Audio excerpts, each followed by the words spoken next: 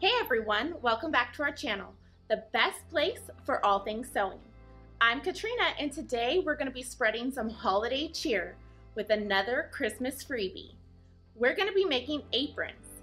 This pattern comes in women's and children's sizing and we'll link this pattern as well as some other freebies down below. So make sure you check out all that information. Let's dive in. Before we get started, you're gonna need your front pattern piece cut on the fold, four strap pieces, two of your upper side panel, cut mirror image, two of your pocket piece, two side bottom panels, mirror image, one facing piece cut on the fold, and two back panel pieces. We're gonna start with our strap pieces. You're going to take two of your strap pieces and put them right sides together, sewing with a 3 8 seam allowance on each of these long sides.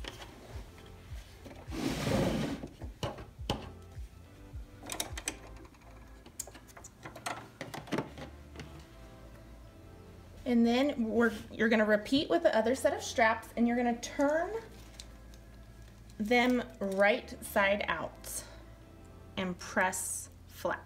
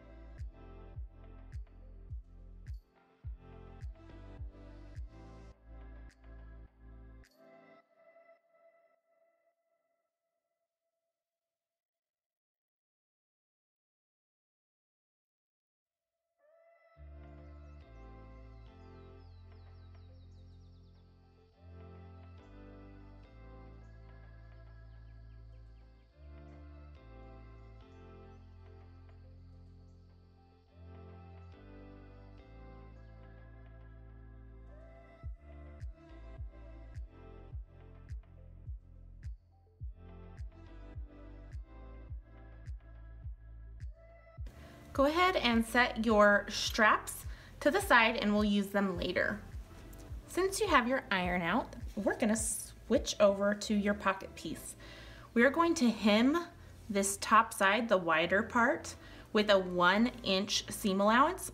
I like to fold over a quarter inch and then uh, towards the wrong side, a quarter of an inch and then another three quarters of an inch and then stitch in place.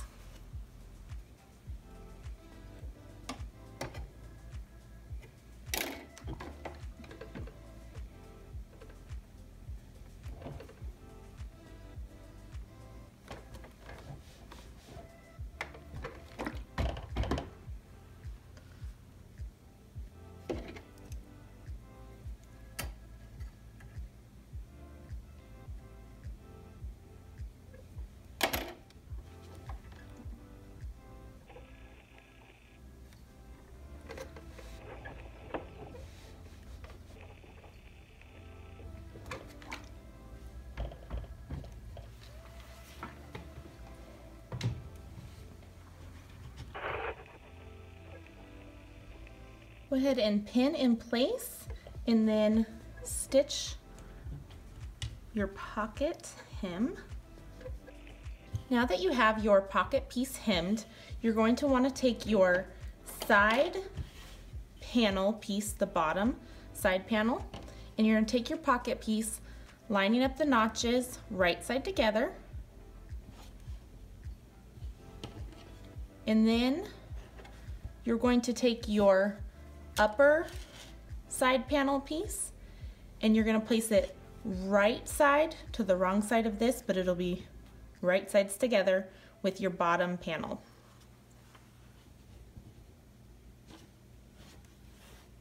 Lining up these notches. And we're gonna stitch in place with the 3 8 seam allowance.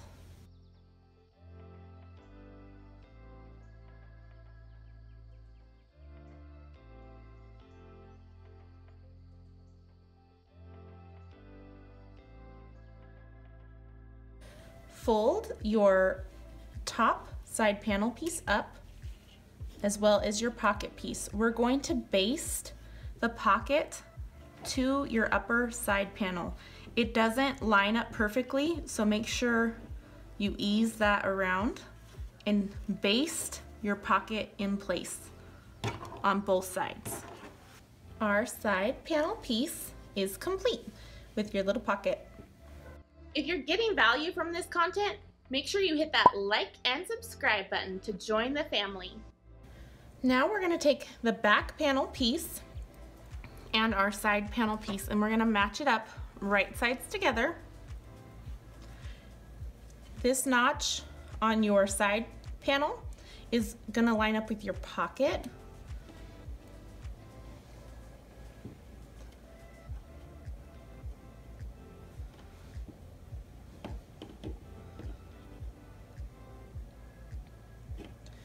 And then go ahead and ease this curve to line up with this curve.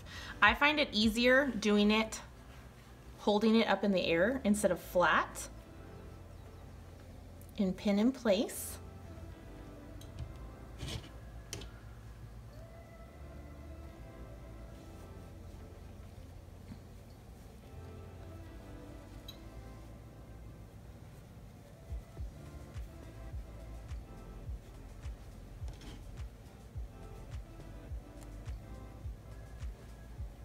It might take a little bit of messing with to get all pinned.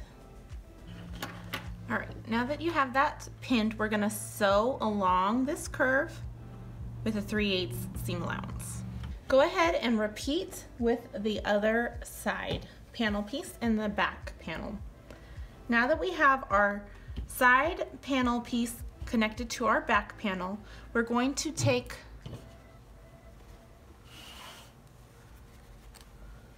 our front panel piece and we're gonna lay it right sides together. Make sure you get the top with the top of your, your apron.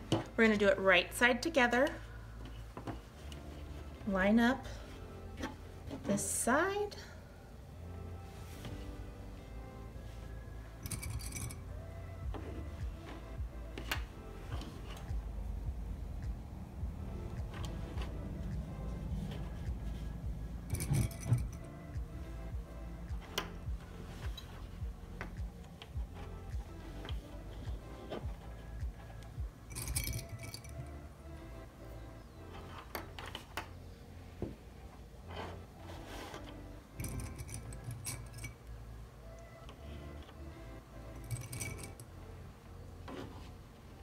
and you're going to stitch in place along this side.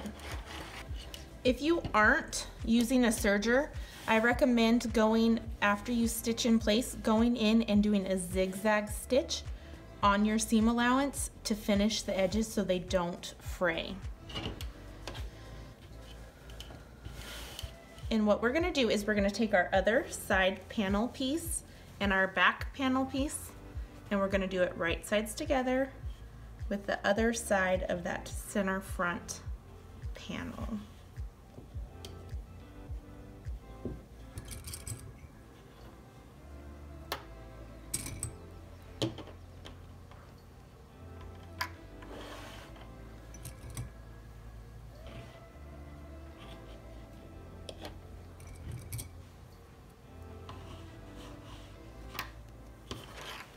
Okay, we're gonna take our apron now and right here where these um, notches were from our pattern piece, we're going to put our straps in between the notch and this side seam right here that we just did. So you're gonna take your strap, place it raw edges right along the top and you're going to pin it in place.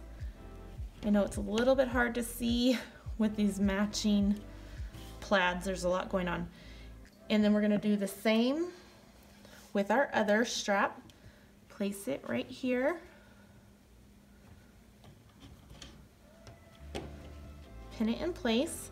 And we're going to baste these straps right along the raw edge. Now that our straps are basted to the front, they are going to cross over. So you're gonna want your right hand side, like when you're looking at your pattern or your apron, we're going to do your right hand side is gonna go over to the back of the left. So you wanna make sure that it crosses over and you're going, going to want your right side of your strap, because you did it, we'll call this right sides of your strap. It goes right side together with your bodice, the front part of the bodice. You're gonna cross it over and you're gonna want that same right side of your strap to line up with this back panel piece. You'll have a pattern marking. It'll depend on what size you're making, how far it is away from your edge and you're gonna line it up with that marking. And you're gonna baste along the raw edges. You're gonna do that with both straps. You can do them one at a time if that's easier for you, but make sure you're doing the right side of your strap is gonna come over with your right side of your back panel piece. And then that'll create the straps. So we're gonna baste those in place and come back. Now that your straps are basted on, this will be a good time to double check that they're not twisted and that you have them crossing over towards the back of your apron.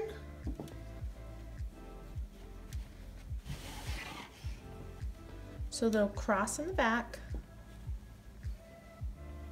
and make sure they're not twisted before we apply the facing. If everything look, looks good, we'll go ahead and apply the facing. All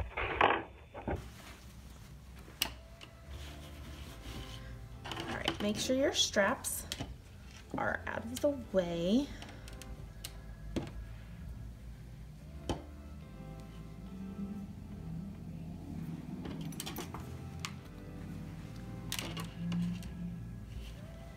You're going to take your facing piece and line it up right sides together with your apron. These marks, your straps are gonna go right in between. So this one will line up with the inside of your strap and then it'll line up with your seam right here. And these ones will line up right on the outside of your strap. Go ahead and pin or clip in place.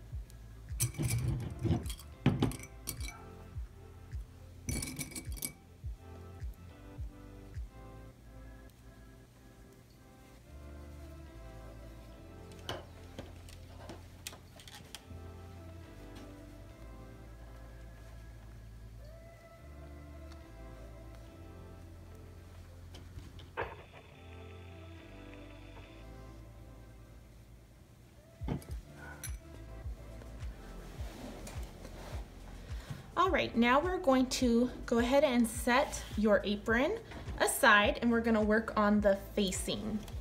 We're gonna take our facing piece and the edge that you marked from your pattern piece is the top edge. We are going to go ahead and finish the bottom with a narrow hem.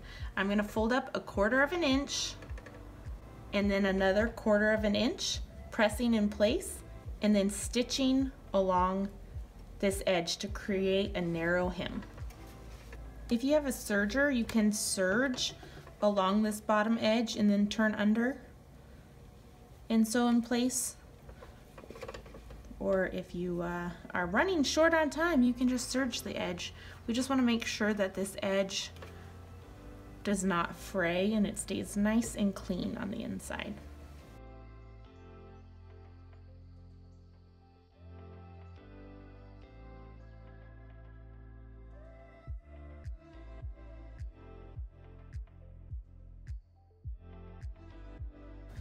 Right, now that we have this all pressed and folded under, we're going to stitch right along here to create a narrow hem. All right, now we have our facing hemmed. We're gonna set that aside just for a second, but keep it close.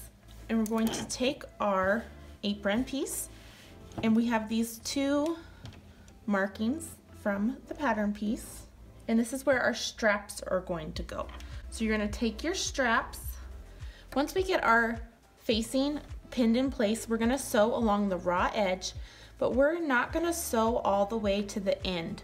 We're only gonna sew until the hem allowance, and that will depend on what size you're making.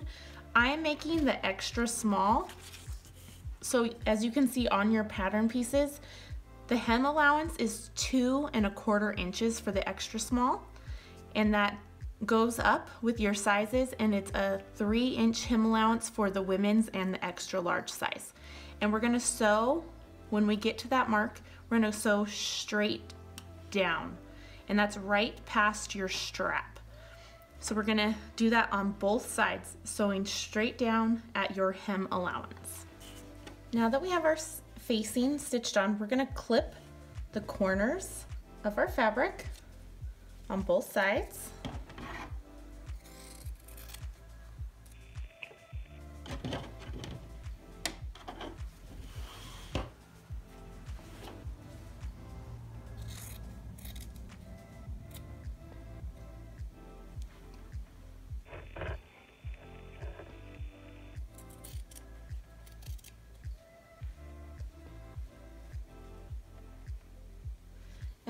To clip this only on the facing so it's closer to the seam allowance. Leave, leave the apron long though.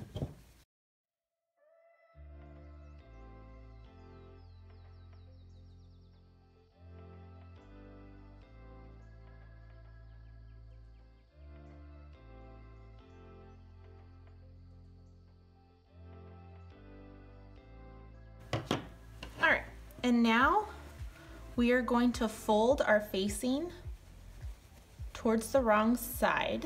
Let's flip it over.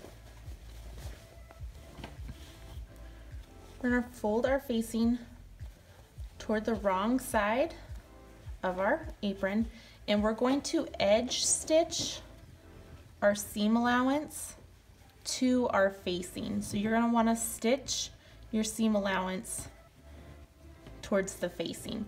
It's a little bit tricky in the corners, but just do the best you can and edge stitch all the way along the facing pieces. As you're understitching your seam allowance to your facing, make sure your straps aren't sticking out because you don't want to catch them in your understitching. So make sure they're folded and out of the way. Okay, now that we have that understitched, we are going to fold our facing to the wrong sides and press that in place. It'll give it a nice clean finish.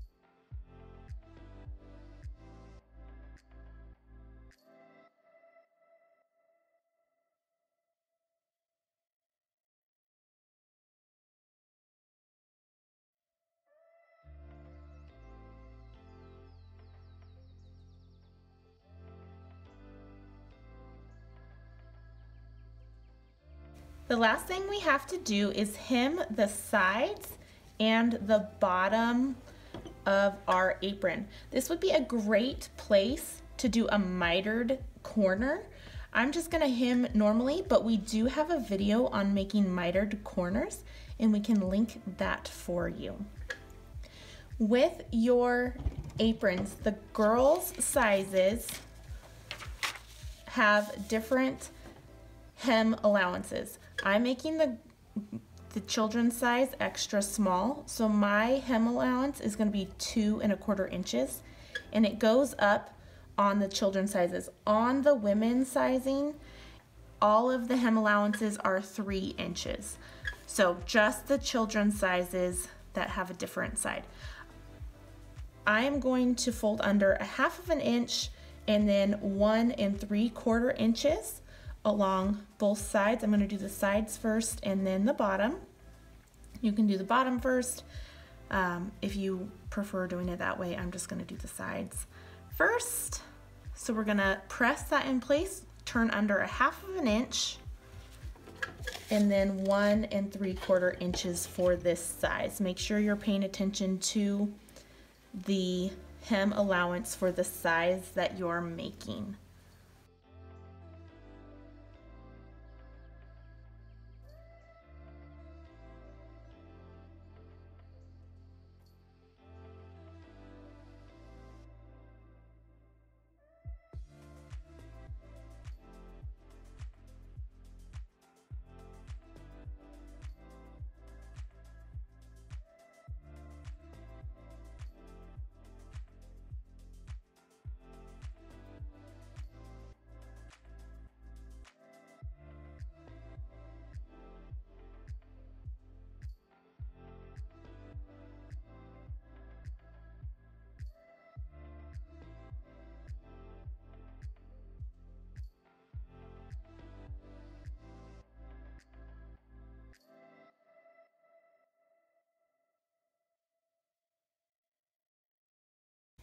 All right, once you have it pressed in place, go ahead and edge stitch along your hem.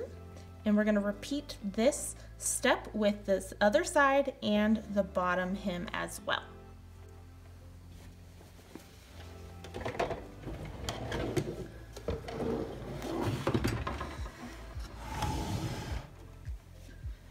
All right, once you get your bottom hem pressed in place, you'll edge stitch along your, your hem. This is also a great pattern for getting your children involved. It's fairly simple and straightforward. Wovens are a great material to work with.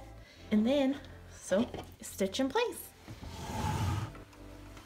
Once you've stitched along your bottom hem, you are all done. You've created a cute apron. It's great for any season, but I know a lot of baking is done around the holidays, so that's why we thought this would be a perfect time to come out with a freebie apron pattern.